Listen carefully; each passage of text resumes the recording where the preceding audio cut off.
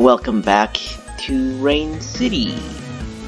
This is Them's Fightin' Herds, and today we were going to go to complete a quest, but let's see some of these other houses. And it seems like this reindeer here thought we were somebody else with maple syrup or honey and I am guessing this is material that makes this game not rated E.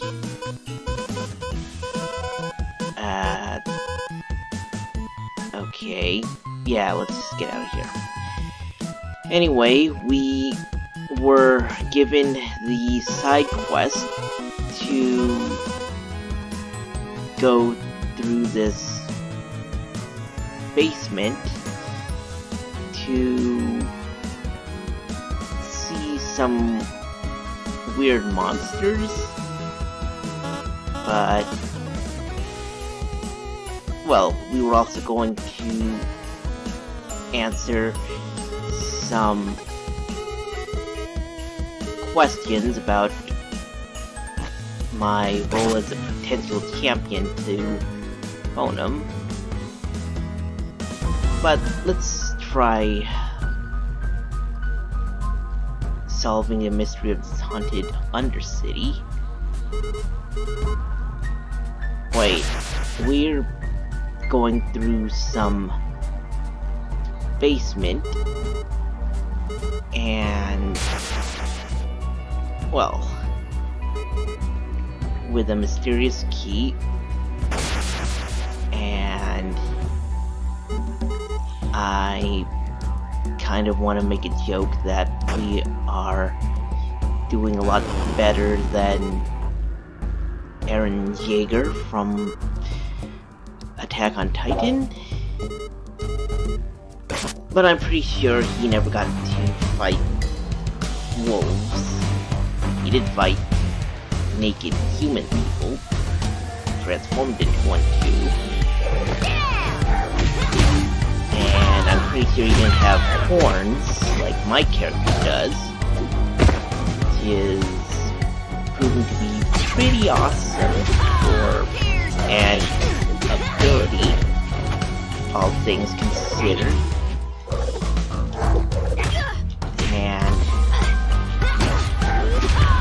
Being able to literally shake the earth with my hooves is a big plus. Although, since I'm here, I kind of want to make a big deal that this could be some kind of health violation. But, I'm pretty sure that that's the point of this whole game. I'm the thing who's supposed to make sure everything's all good in the world. Although, now that this game was supposed to be a My Little Pony Friendship Magic fighting game, I kind of am wondering what kind of story that would have given this game.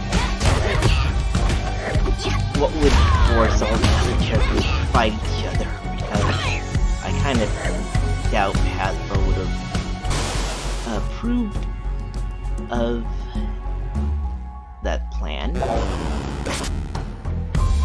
And now I gotta fight this giant snake monster. Whoopee. The last one kinda sucked. And I'd rather not have to deal with stupid cuddles here. Although it is pretty ironic that this time I'm fighting a giant snake with tiny wolf underlings rather than a giant wolf with tiny snake underlings. I am getting my new collectibles for this chapter here though, which is nice. Well, now that we got one collectible there, I guess I'm getting more collectibles going forward. Alright. Good old fashioned throws. And seeing as this is a little for the uh, part where I got to uh, showcase the arcade mode of the game. I guess it's obvious I've gotten some experience with using Arizona. Basically, hit things and hit them hard. Whether by head, foot, or, well, body slams. And now we even got this really old reindeer toy.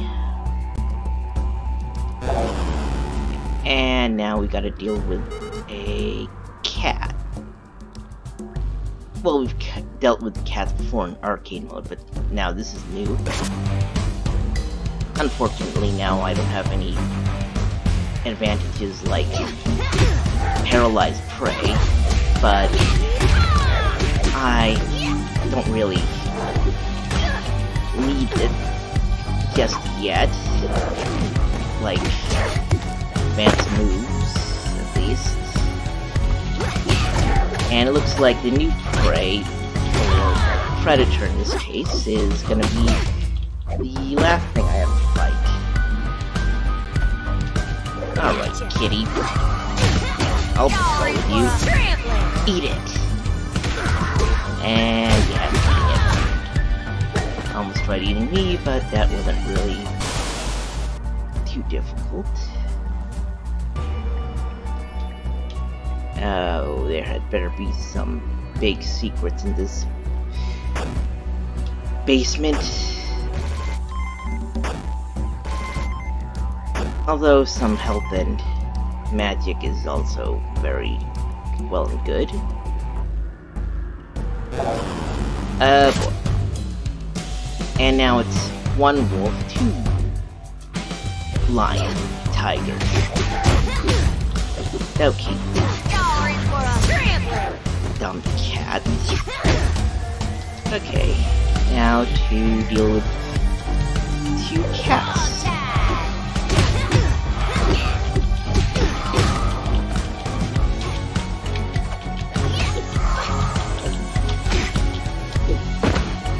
Okay, so I guess the thing about them fighting birds is that these shadow predators aren't, like, completely difficult, but given that this is Gauntlet, it's probably supposed to be some serious life sapping moments, but well, looks like I'm going to have a big adventure here, so for now I will sign out and I will end this video once I finish beating up these different predators. So, yeah, I will see you later. And if you are still watching at this point, please like and subscribe. I would be very appreciative if you did.